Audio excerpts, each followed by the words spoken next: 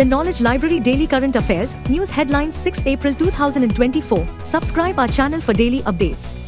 National News. ECI terms false claim of messages being circulated on WhatsApp that 15 lakh EVMs are missing. Court allows CBI to interrogate BRS leader K. Kavitha in Tihar jail.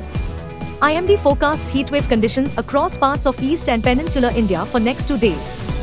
Delhi court reserves order on CM Kejriwal's plea seeking more time with lawyer.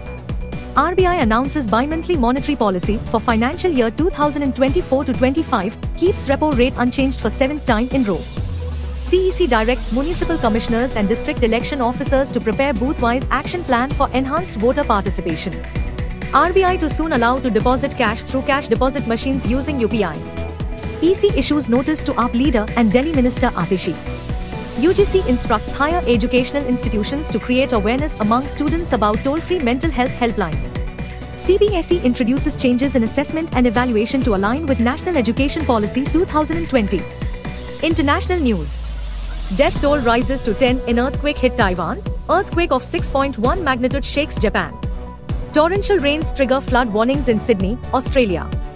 Israel's Security Cabinet first time approves reopening of Erez crossing to allow flow of more humanitarian aid into Gaza. Sports news.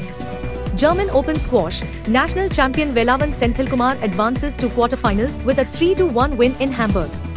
Sunrisers Hyderabad to face Chennai Super Kings at Rajiv Gandhi International Stadium in Hyderabad. Thank you have a nice day ahead. Like share and subscribe our channel.